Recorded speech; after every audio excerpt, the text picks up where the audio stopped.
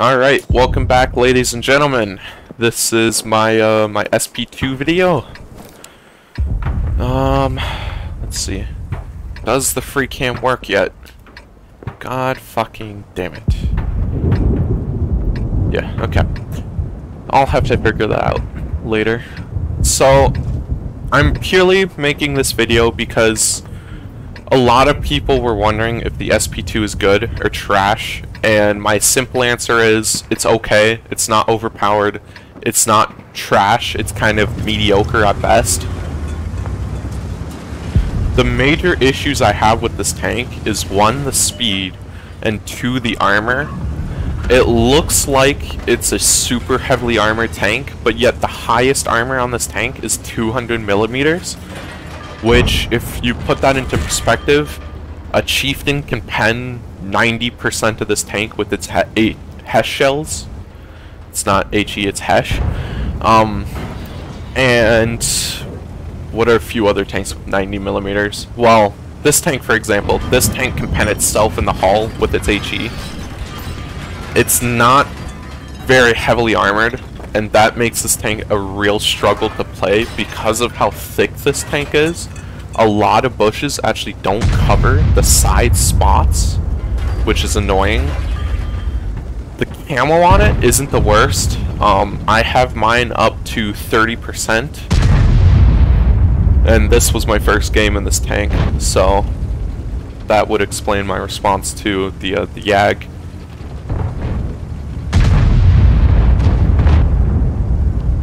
The major thing I think that defines this tank is the gun alone. Its penetration isn't the exact best, and APCR shells as sniping rounds on a TD kind of suck in my opinion. But the accuracy on this tank is probably one of the most redeeming factors, along with the fact that it's one of the most DPM heavy TDs. I think I have mine around 3.6k, 3.7k right now. And I do have intuition on this on like my Grille. I made sure. so here, I'm just waiting for shot, and I don't think I'm gonna get a shot. So there's not really a point to me sitting on the hill, risking getting killed, and I know that they're gonna win this based off of how my team is playing, and how we've already taken the tracks.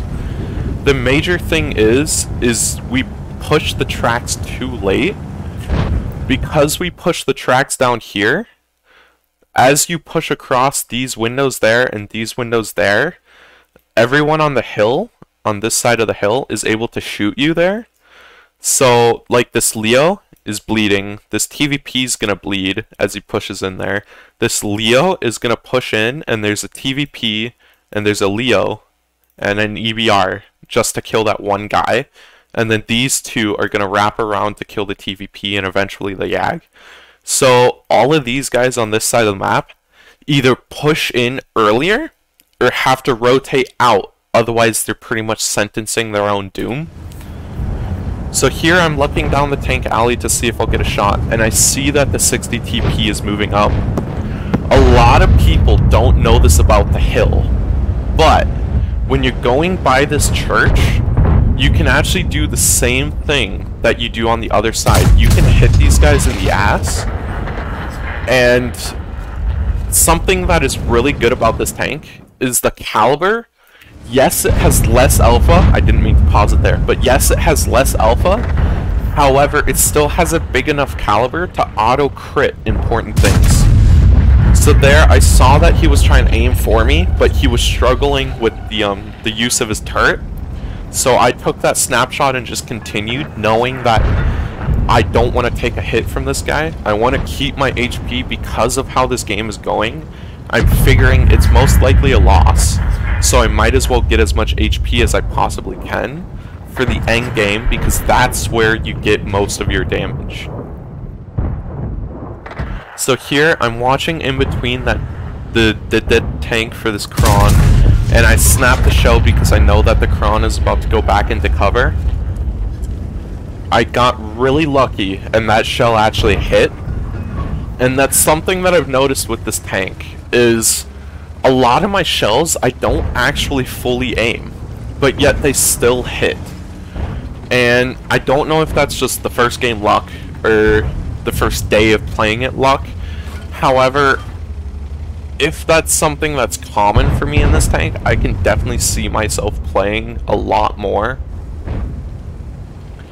Now, something that I'm doing here, I didn't expect the 60 TP to have any help, so I'm peeking this and I'm waiting for my circle to go down as I aim, and I got shot and I saw the 60 TP turning, so I snapped the shot to not take another hit. I didn't expect the Leo to be sitting there helping him, now, here, I'm backing up to get 60 TP on the edge, if not out of the spotting range, so that I can hit him again. But I'm also doing mistake by not going backwards. If I was to go backwards, then I could reverse side scrape off of the edge, which would limit how much I'm exposing my tank. Now, I know that I can pen that if I hit him in the right spot, and I know that that's not the right spot because I slapped him in the drive wheel instead of actually hitting his tank. So here, I'm just trying to hit him in the engine deck, and I do, and I let him on fire again. Which this is the second auto fire extinguisher I've taken from this guy. And now I'm just, I'm waiting for him to show himself even more, and he doesn't. So then I see that the Leo's going in, so I'm going to snap the shot into the Leo. The Leo lit me there because this thing has terrible camo after firing. It's not like the Sturv in that matter. The SP2 luckily does hit that Leo again, which means that the Leo is down to a one-shot next time he peeks. I know that the Leo is going to be peeking before the M5Y, so I'm just ready to hit and punish that Leo. And then here, I know that the Yag is dead. There's nothing I can do to keep that Yag alive because he decided to push up. I know that he's gonna die, so I'm gonna focus on myself and trying to get more damage out of this game. Now, the important thing to see is that that Leo is pushing up and in the open. I really should have taken that shot sooner because then I would be able to reload to shoot this guy twice. However, I didn't see that, and now I see that the Kron is coming out, so I'm gonna get ready to aim the shot. I'm just gonna snap it to try and keep it so he doesn't hit me, to just conserve even more HP. I know that that guy's gonna hit me, there's nothing I can do against it, but at this point, I think that 60 TP or M5Y is gonna get behind me soon. So I'm just focused on trying to get kills for the WNA and getting damage. Now, luckily, that 183 is running food, and he doesn't have a firefighting crew because he's fucking retarded. So now I'm just focused on killing the 183. I thought that 183 shot before, so I felt safe in re-peeking that. And now I'm just trying to get as much damage as possible. Sadly, the 60 TP does reload before I can get another shell off. However, I was very happy with how this game ended. And then I need to finish that and go into the game again to go do the second replay that I have set up to uh, show you guys. And while I do that, I'm going to look at the Discord.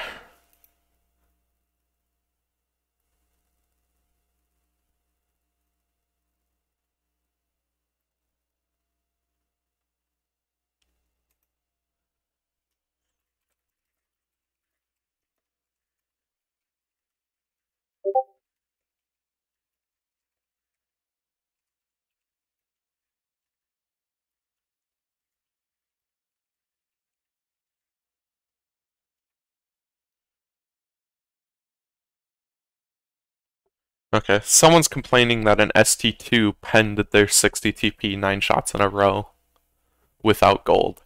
Which I don't understand because 60 TP armor is such a fucking meme. Oof. And then Hal got ammo racked trying to mark his tank, so now he's pissed off.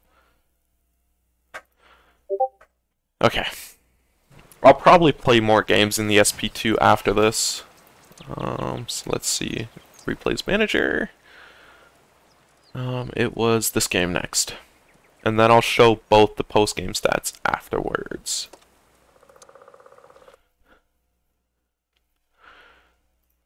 Um, if you're lazy, just skip ahead. It's okay. I, I won't blame you. I mean, I get to see if you skip ahead, but I don't care. I do this because I enjoy doing it and because people want to get better at the game, so I'm trying to teach how I play maps and how some tanks can be played.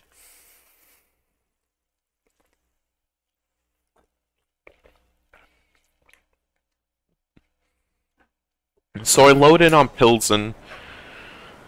Um, I'll skip forwards a little bit. Whoops, too much. Skip forwards way too much. Okay. What the fuck? What have I managed to do? Oh no! What have I done?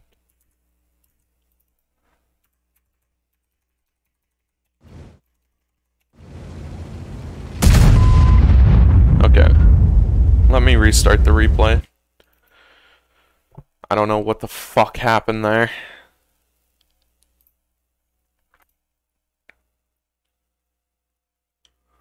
That was very, very weird. I have never had that happen before.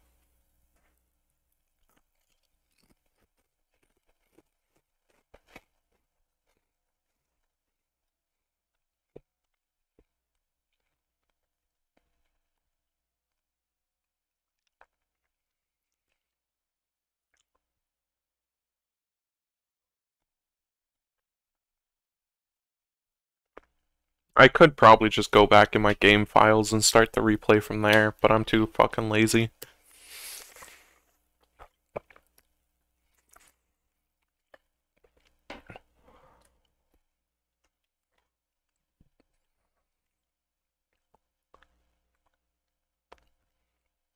So something that I haven't talked about about this tank is the um the reason why I'm setting it up as I am. So the major thing that I is the reason why I keep AP shells in this tank is because APCR sucks ass against tanks like the S-Conk or the um God, what's the other one with fucking spaced armor shit? Uh, I can't remember the fucking name. But the shells aren't able to actually pen the weak points because of how the armor works. And the reason why AP works is because wargaming. So I keep a few AP shells loaded specifically for tanks like that that struggle with the APCR pen. Other than that, I shoot full APCR because there's no other reason to fucking not to.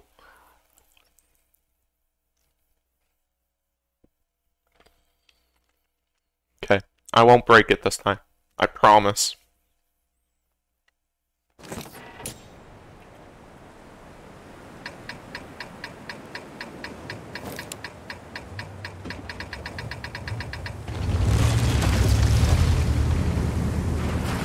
Okay. Actually, I'll just speed it up one more. Why not? God damn it. Fucking buttons. Okay. So I took a blind shot with an AP shell because I'm fucking retarded, and it should have been a gold shell just to increase the chances of penning. It didn't end up hitting anything, so it's not like it really matters. I reloaded an HE shell because this thing has pretty good HE pen with 90 millimeters, and it's important that I hit this EBR. Something I didn't expect is for the EBR to outspot me and get past me, So here, I'm trying to aim, and then this awesome Unicum 183 decides to go in front of me. And because my platoon mate hit the EBR, and I know that the EBR will be dodging in and out of these um, hills, I use my intuition to get the APCR back into the tank, and then I blind fire the TDs because of where the 183 just got hit. I didn't get lit, and I know that this EBR is going to light me again, but I want to hit that shot. I do get double punished for it. Luckily, one only hits the outside track, and it doesn't actually track me, because I have like a 10 second track repair on this tank. But I, I wanted to kill that EBR so we couldn't just sit there and perma spot. I looked up to see if I was showing any of my turret over the hill because I wasn't quite sure how tall this fat ass tank was. Here, I'm waiting for the Leo to push in because I do want to get a shot onto the Leo. But it doesn't look like anyone on our team is going to continue to spot that, and I can't spot it myself. So now I'm just, I'm trying to find shots on pretty much anyone that I can. I don't think we're really going to win this side.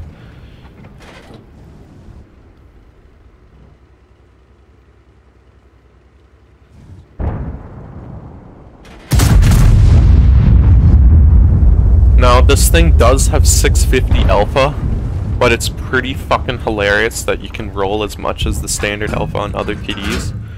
And this is one of the reasons why I hate the APCR. Because of the APCR being APCR and not heat, I could only pen the top of that 268 because APCR is still affected by angling. Unlike heat, the APCR acts like AP, so it's bounceable, heat just explodes on contact with the vehicle, so whether it pens or not is not based off of angling. And here I get lit, and I was really hoping that Coman, my platoon mate in front of me, would have gotten shot, because that would have been funny.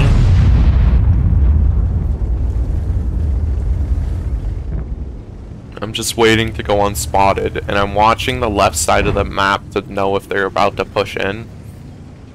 I'm rotating sides because I think that they're about to push in, and I also think that their TDs are going to blind fire the other side where I was sitting and where Coman's sitting right now. So I don't want to sit there and risk losing even more HP if I don't need to. That unfortunately does mean that I don't get to aim that shot in and I don't get to hit him. Another sucky thing is that I tried to snap that and I wasn't pre-aimed for that 5A. Had I been pre-aimed for that 5A, he would have been a one-shot, and then our teammate over there wouldn't have died or been close to death. I think it was close to death. Now we're just trying to find shots on anyone that's still sitting back there, but we're also ready to look the other way in case the uh, the 268 or the FV try and push through the middle. I'm thinking that their TD is still sitting in the bush, so I'm to try and blind fire. I saw that hit the hill behind, so I know that he's not there. And then Coleman took another shot, and he actually did hit. So, what their TD was doing was he was sitting there waiting for someone to blind fire, and then he peeked, or he just decided to peek at that point. I didn't see the STB pushing in here, which is my fault because Coleman said that we can shoot through there, and then I saw the STB and I knew what he was doing.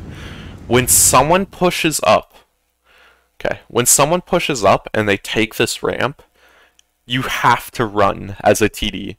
If you sit here and you try and brawl with that STB, he's going to be shooting twice, if not three times, for every time I pen him once. So it's not worth me sitting there and trading all of my HP just to get two shots off before I'm dead. So I told Coleman to run, and the 183 knows the plan. You have to run if they're going to take that ramp. Coleman ends up getting lit because he didn't quite get out in time. I don't get lit. The other thing is, is that if we go straight back to this building, we're too far away for these TDs over here to spot us while staying in those bushes. So at the same time, you might be wondering why the fuck we didn't get shot by their TDs. And the simple answer is because this map is retarded and their TDs can't see you if you rotate out. Now I know that that 215B was moving through the middle, so I'm wondering where the hell he is. And then that's when he gets lit to the right. I don't expect him to notice me right away, and I'm gonna admit he scared the shit out of me by hitting me there, so I just shot randomly and it managed to hit. I was really hoping he would hit Coman and not me again, but because he decided to hit me, he tracks me and makes me waste my repair kit, but I'm also down to a two-shot now, which means my likelihood of getting damage is much lower. Coman got shot by the M60, who then missed me because good player, lol. Here, I'm just trying to peek my track out while Coleman's trying to side scrape in a tank with only 20 millimeters of armor. The 705 shoots, I didn't expect anyone to be behind that 705, although Coleman was a good boy and uh, killed the Leo. Now here, that 113 was just being a fucking retard, but this is one of the things that I like about this tank in APCR. You can pen a hull down 705A in a tank like this. In any TD with APCR, you can pen the bottom of the turret and the turret ring of the 705A, and a lot of people don't realize that. So here, I know that that STB is going around, but I also know that I have to hit that STB, otherwise he's just going to come and kill us. He does manage manage to trade with us, and I tell Coleman that STB is going to hit me again, you need to take the next shot. So he just kind of pushes me back into cover because he's a good clanmate, and then he picks up the kill on the STB. We know that we're surrounded, and we know that they're going to keep coming from the other way, and I hear them break down a fence, I do believe it was. Can I go back and listen to that? Oh no, I did it again. No! Okay. So, here, let's see if I can...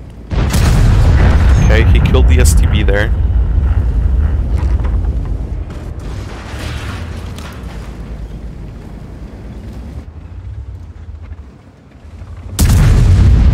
No, I didn't hear a fence, so I just guessed. I thought I heard a fence. That must have been a different game. So, I just guessed where he was going to be coming from, and I guessed right. I do believe I hit the pillar, and I ended up dying for it. And then Coleman got another two shots in, I think. Something like that. Um, I am going to go just to the end of the game to uh, show the post-game stats for both of those games real quick.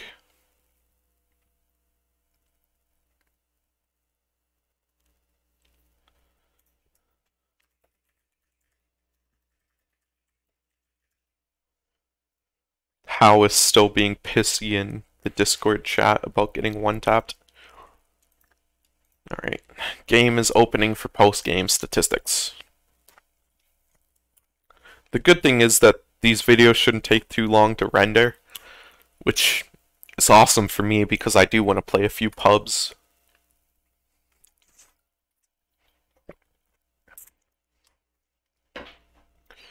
I'm supposed to be having a meeting with um with Fox later, like right after I record these. So I hope it goes well. If I get kicked out of Tron, just know that I'm taking Nick with me.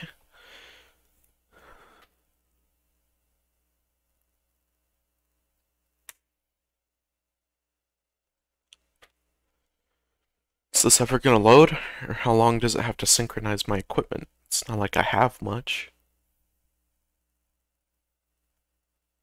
Consumables, though. I do have consumables. I have, like, 10,000 food or something. I think I'm at 2,000 food for my chieftain alone because that's just what I play a lot for um advances. Alright, so we'll start with the Himmelsdorf game. So this is the Himmelsdorf game. I got the badges that no one gives a shit about. And only a first class because depression with 7.1k damage. Now, something that I found really interesting is that I crit the 62 piece fuel tanks twice. Or was that two different ones? It was two different ones. So I crit two different 60 piece fuel tanks. And I, I found that really funny because they were both running um, auto fire extinguishers like cunts.